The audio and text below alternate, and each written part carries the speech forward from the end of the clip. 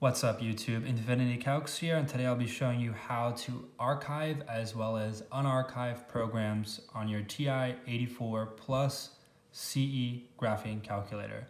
So what you want to do is hit second memory, scroll down to archive, and now you want to choose the program that you want to archive. So press program, I'm going to archive this Donkey Kong game that I have. And then I'm gonna press enter once more.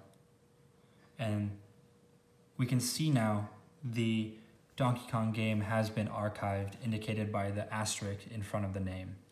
So if I want to unarchive that program, what you wanna do is hit second, memory, scroll down to number six, unarchive, press enter, and now we're just gonna select the program that we wanna unarchive. So I'm gonna press program and then press enter under this Donkey Kong game that is archived.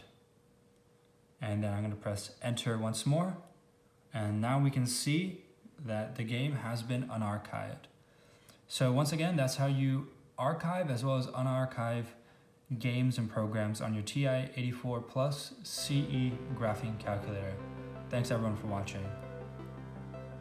Infinity Calc is a place where students can discover helpful resources on graphing calculators from finding commands to learning how to program on a TI-84. There are also in-depth tutorials and free games to download. You can find more at infinitycalcs.com.